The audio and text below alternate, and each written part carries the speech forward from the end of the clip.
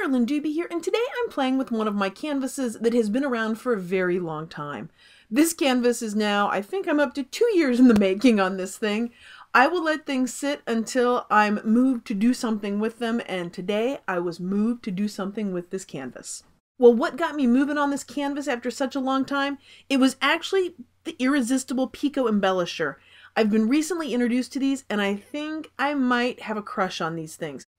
These haven't clogged on me because they've got the metal pin that slides right into the nozzle, so that part is a big plus. It will write over anything. On this canvas, I've got all sorts of different mediums, and frankly, I don't even remember what all was on here because it's from so long ago. But this thing is writing all over it. The other thing that's really cool about the paint that's in this, paint ink, whatever they've got in here, is that it holds its shape so that I actually get three-dimensional feeling to this. So wherever I'm drawing and writing and scribbling and tracing, what it's going to do is add a lot of wonderful texture to this. And as I'm adding this texture, part of me had just thought I was going to do a little bit of this on here and then see where it went next. But I pretty much got addicted to this and just kept writing and writing and drawing and doodling and scribbling and adding more to it.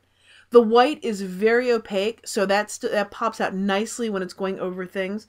Making dots with this, so simple.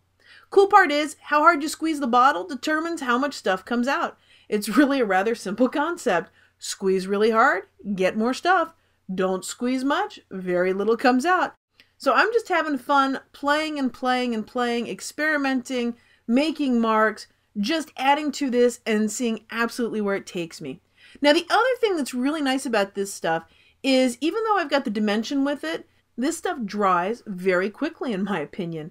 It was five minutes, maybe maybe ten at the most, and this sucker was completely dry and I was ready to go on to the next step. And I don't live in Arizona and it still dried quickly. Something else that I've been introduced to recently is the all-purpose ink for the Fantastix. And it's this cool little well of ink.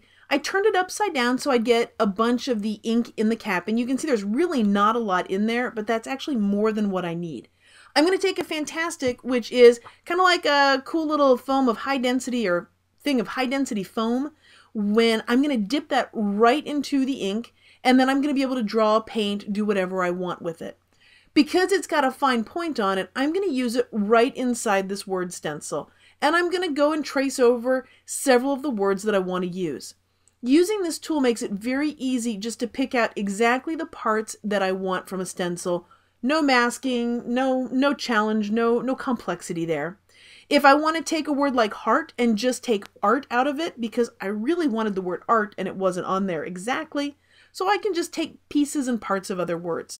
Using the pen, the fantastic tool makes it so easy to take out pieces and parts. Like in the word seek, I just want the word see out of that because hidden inside words are lots of other words so that I can get as much use out of this stencil as possible. So instead of wonderful, I just went with wonder.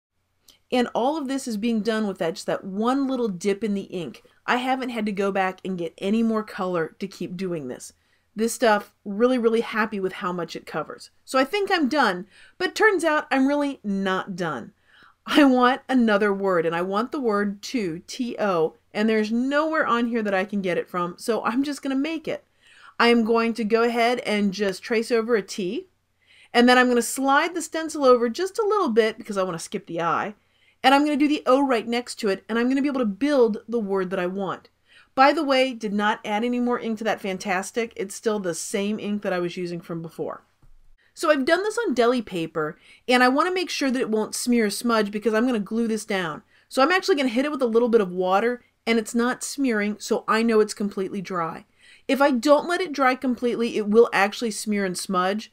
So you want to make sure that you let it dry completely if you don't want it to smudge when you add some gel medium to it. So now I'm just going to cut the words out and once they're all cut out, then I'll be ready to add them on to my canvas with some gel medium.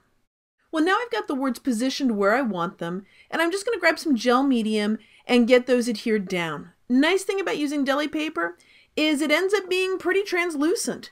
Now, it's not going to be completely invisible, but it's pretty invisible. I mean, there really are about a zillion layers on this and enough texture, so what's a little bit more? It'll all blend in perfectly. Well, thanks for joining me today. If you've enjoyed seeing this video, I'd love it if you subscribe to my YouTube channel.